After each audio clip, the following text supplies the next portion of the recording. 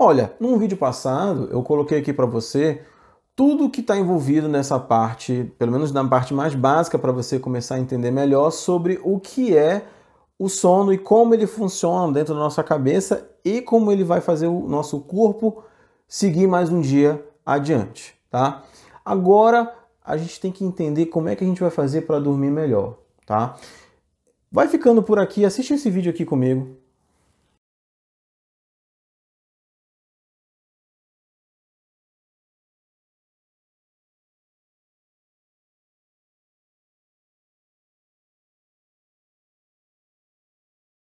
Olá mais uma vez, aqui é o Dr. Luiz Silva, eu sou médico otorrinolaringologista e também professor, tá?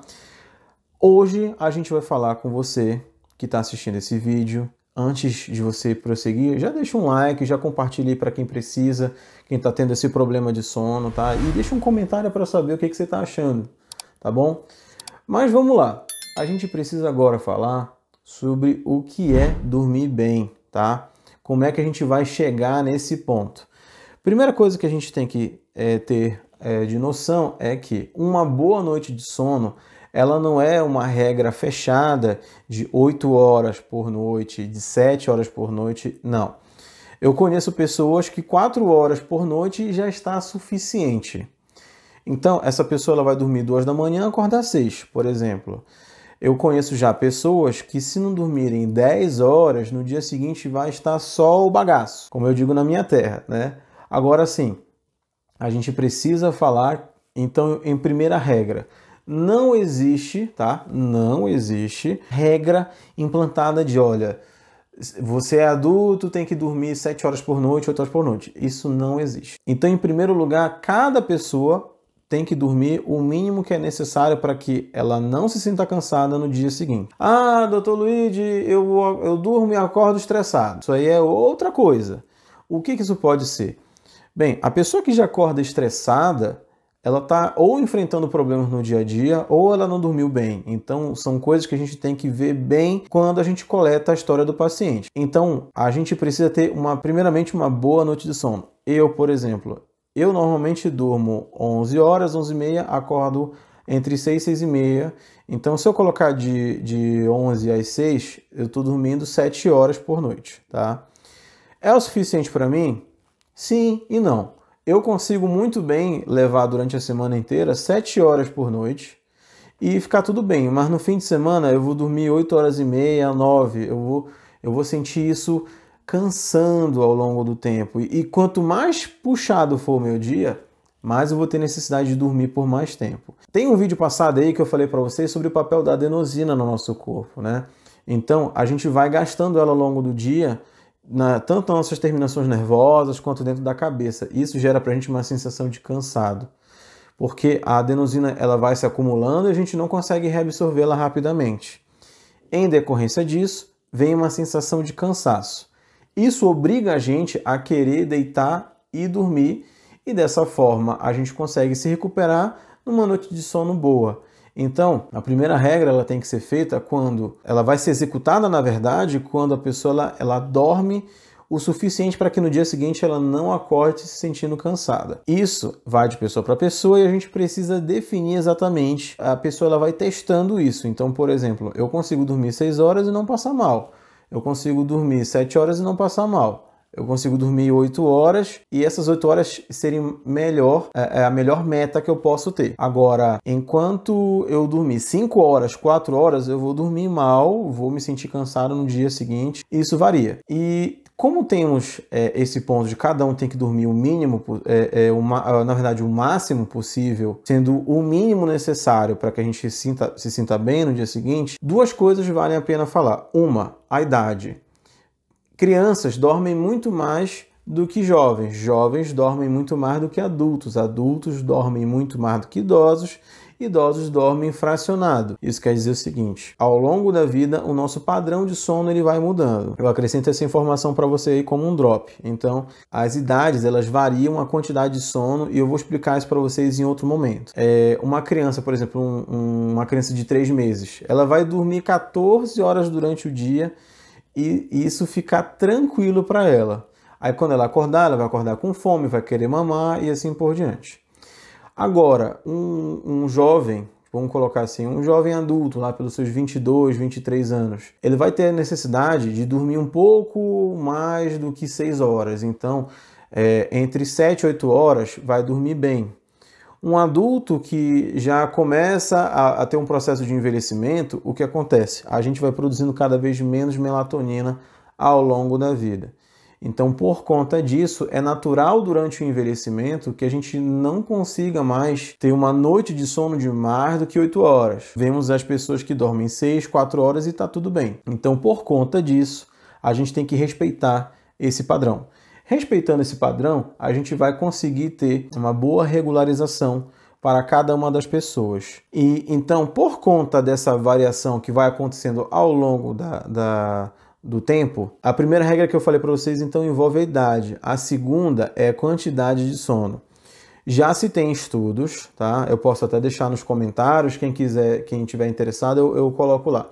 Mas já tem estudos que já comprovam que pessoas que dormem pouco têm problemas em relação à saúde. Mais problemas em relação ao estresse, mais problemas em relação à ansiedade, depressão, é, problemas cardiovasculares, metabólicos e assim por diante. Já as pessoas que dormem muito, não quer dizer, tá? Isso não é, não é uma, uma lógica aristotélica, onde dormir menos causa mais problemas de saúde, dormir mais causa menos problema. Não é isso. A gente, tá, a gente tem que dormir o mínimo, como eu falei para vocês, o mínimo é, possível para que a gente tenha o máximo de performance no dia seguinte. Já, já se tem estudos colocando que existe um grupo de pessoas que quando dormem mais do que 10 horas, ou seja, dormir em excesso mesmo, essa pessoa ela adquire demência mais rapidamente.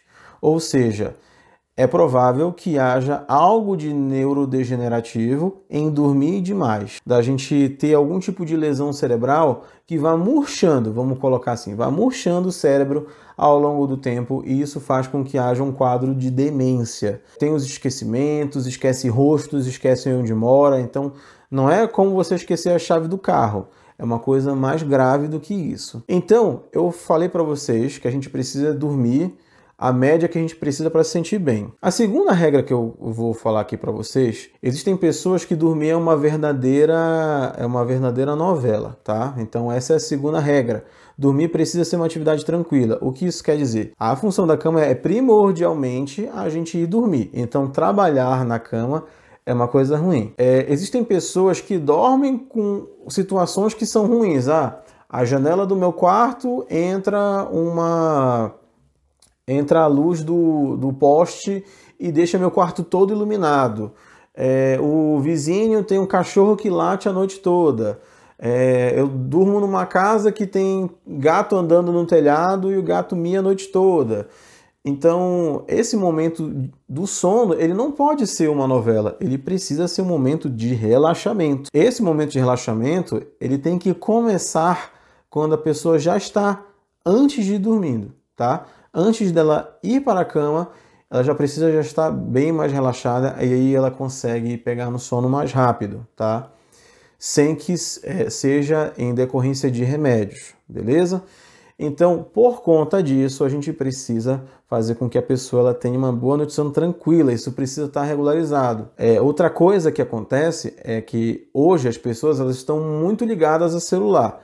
O que isso vai implicar é, por exemplo, eu sou médico e eu opero as pessoas, então tiro a amígdala, faço cirurgia de nariz, ouvido e assim por diante. Daí o meu celular, quando eu vou dormir, ele precisa estar no modo é, que eu precise receber a notificação do paciente se ele precisar me ligar ou mandar uma mensagem. E isso é, faz com que eu fique de sobreaviso. Só que tem pessoas que têm esse hábito e não têm essa necessidade.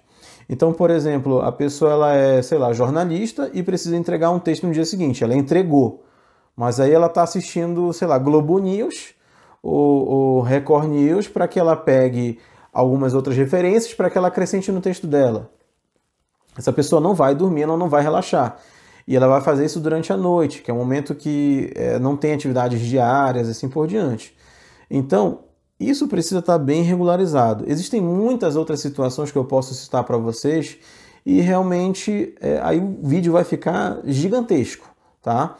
Mas ir dormir precisa ser uma atividade tranquila, tá? Terceiro, para quem tem problemas em relação a, a, essa, a um processo de desaceleração, de você deixar de ficar pilhado porque está fazendo muitas atividades, existe toda uma técnica que você pode fazer para que você se sinta melhor, tá? Por exemplo, você pode pesquisar aqui no YouTube Mindfulness, que é a atenção plena que você vai ter em decorrência de algumas, de algumas tarefas no dia a dia. Por exemplo, eu vou ter atenção total ao trabalho até 5 da tarde. Depois disso, eu não vou ter. Eu vou fazer atividades que me relaxem. Meditação, tá? Ouvir alguma coisa que seja relaxante, ler a, a, atividade de leitura dá uma cansada na mente, faz com que você relaxe mais rápido, tá? Eu falo isso porque tem gente que vai relaxar e coloca a TV é, assistindo um filme de terror. Já tive uma paciente que ela simplesmente ela, ela ia relaxar dormir assistindo coisas de terror até 4 da manhã. Quem é que vai relaxar assim? Não tem como. Então, é, a gente precisa deixar bem alinhado a situação dos pacientes. Eu já tive paciente que, é, por exemplo, era um casal a mulher não conseguia dormir, o homem ia dormir por conta do barulho da TV. Só que a luz da TV incomodava a mulher. O que, que a gente vai fazer mediante isso? Terminar um casamento? Não. Isso é uma questão de conversa, isso é uma questão de adaptação. Então, por exemplo, é, esse marido gosta de som quando ele vai dormir. Aí você pode, por exemplo, ativar a sua Alexa, você consegue colocar próprio celular, consegue colocar é, no computador, consegue colocar até na própria TV música mais tranquila. Agora, por exemplo, a luz ela é um inimigo nosso quando a gente vai dormir. Então, por exemplo, você já foi no hospital numa urgência à noite, você não vai encontrar quartos escuros. Você vai ver tudo iluminado. Por quê? A secretária que atende você precisa estar é, acordada, o médico que vai atender você, o, o, técnico de enfermagem que vai furar o seu braço, o enfermeiro que está comandando é, a parte do plantão de forma administrativa, todo mundo precisa estar acordado. Então, o hospital à noite tem que estar tudo iluminado. Nós, quando vamos dormir, não. A gente precisa de um quarto 100% escuro. Então, uma das coisas que eu sempre falo das orientações em relação à higiene do sono. Você precisa estar num ambiente tranquilo, confortável, não pode estar nem tão quente nem tão frio, tá? Existem pessoas que gostam mais do calor do frio, mas o que se fala é de colocar mais ou menos uma temperatura de 20 graus para que você consiga ter um relaxamento usando é, o, o, seu cobertor, tudo mais e tal. É, precisa estar no ambiente tão confortável, levemente refrigerado, é, escuro. Precisa estar calmo, então não pode ter barulhos que vão te atrapalhar, não pode ter vizinho arrastando móvel em cima, não pode ter é, é, animal arranhando porta é, e assim por diante. Então precisa estar tranquilo, ok? É, é, diferente, por exemplo, de eu chegar e aconselhar isso para uma mãe que fica ouvindo a babá eletrônica porque a criança ela pode chorar, pode pedir é, é, auxílio, apoio, etc. Tá? Então, são situações que a gente vai vendo cada uma delas, mas de modo geral, essas são maiores práticas que a gente faz em relação à parte de cuidados da higiene do sono. Então, precisa estar com TV desligada, você precisa estar longe do celular. Se você não precisa estar de sobreaviso, você tem que estar longe do celular. Então, desliga as notificações, é, deixa no modo silencioso, é, faz com que o celular ele não fique apitando luz enquanto você está deitado na cama, dormindo. Agora, sim, uma coisa que também vale a pena sempre falar para o meu paciente, muitos homens, principalmente os homens, roncam muito mais do que as mulheres. Por conta disso, se o parceiro atrapalha, e esse, esse parceiro ele atrapalha roncando, ele atrapalha estudando, é, trabalhando, isso tem que ser visto, tá? Porque, por exemplo, ronco é um problema de saúde. Trabalhar enquanto a outra pessoa está dormindo, não. Isso aí é ajuste de hábito. Então, essa pessoa vai trabalhar na cozinha, na sala, seja lá onde for. Mas no quarto, não, não pode atrapalhar, tá bom? É, uma outra situação que pode ajudar a relaxar, tá? Aí se fica de mais um drop aí para vocês. É, tomar um banho quente, um banho morno, principalmente antes de dormir, faz com que é, você ganhe aquela temperatura, tá? Você vai ficar quente, quentinho por conta do banho, e você resfrie. Esse processo de resfriamento causa um bem-estar no corpo. Outra coisa é você ingerir que são é, é, líquidos que são mais mornos a quentes. Então, por exemplo, uma coisa que você pode fazer é o chá, né? Então é algo menos calórico, menos pesado, é, menos proteico. Então é um momento que você vai precisar mais relaxar e você vai usar menos o, o, sistema digestivo, tá? Enquanto a gente dorme, o sistema digestivo ele diminui de, de, de função de trabalho. Então, algo de melhor absorção é, por exemplo, o chá, que ele é basicamente água com um pouco de essência da planta. Vale também uma última adequação aí. Eu vou deixar de um drop a mais aí para vocês, já que vocês vão merecer em algum momento, né? Que é o seguinte, travesseiro, tá? É, travesseiro, eu vou falar um vídeo só sobre travesseiro para vocês no futuro. Mas o travesseiro, ele não pode ser um travesseiro nem tão alto e nem tão baixo. Ou seja, ele tem que ter a distância entre o ombro e a orelha. Essa distância, quando eu durmo de lado, faz com que eu não precise ficar com a cabeça toda torta de um lado ou para o outro. Isso vai fazer com que a gente tenha dores cervicais. Aí, dormir vai ser um novo inferno, né? Para quem tem dor no pescoço, tá bom? Eu vou ficando por aqui. Eu já dei várias dicas para vocês e vocês precisam deixar um like aí nesse vídeo aí porque vocês são legais comigo, né? Eu vou fazer mais vídeos para vocês sobre sono no futuro, tá bom?